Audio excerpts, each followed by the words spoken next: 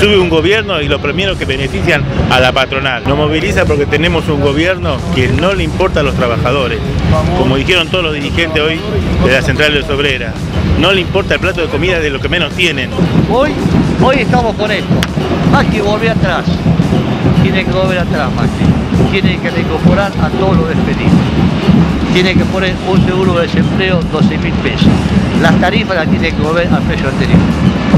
No va más es un paso muy positivo que se junten todas las centrales obreras, pero no hay que perder el eje que es la lucha y tratando de concientizar a la gente que realmente se, dé cuenta y despierte nuestro país, no se quede dormido y despierte ante este avasallamiento de la, de la derecha en general miserable que realmente nos está llevando a un retroceso total. Hay trabajadores que vamos a defender nuestros derechos que hemos conquistado, que no los queremos perder, pero hay trabajadores que lo están perdiendo porque lo están despidiendo. Y hay sectores que han, eh, lamentablemente, han descendido nuevamente por debajo de la línea de pobreza. Entonces vemos una perspectiva negativa con estas políticas, por ello estamos peleando. Y bueno, realmente lo más fuerte que pasa es, eh, son los despidos, ¿no? Yo vengo de Navarro, provincia de Buenos Aires. Este, vengo porque tengo una pensión no contributiva y no me alcanza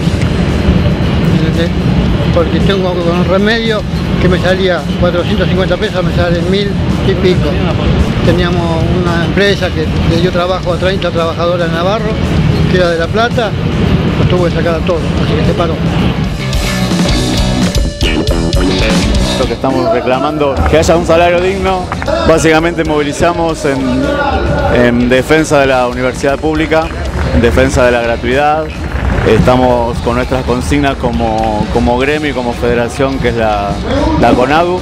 Estamos reivindicando el trabajo de los docentes trabajadores de, las universidades, estamos pidiendo que no haya techo para las paritarias, estamos pidiendo de que se garantice la gratuidad, que para nosotros no solamente pasa por un reclamo sindical en el caso de, las paritarias, en el caso de, de los salarios, sino que estamos pensando en que hay un avasallamiento a la universidad pública. Está convocado para defender los intereses de los trabajadores, no a los despidos, no a la criminalización de la protesta social, en contra de los tarifazos, en contra de la inflación, a favor de una jubilación digna. 130.000 despidos en cuatro meses.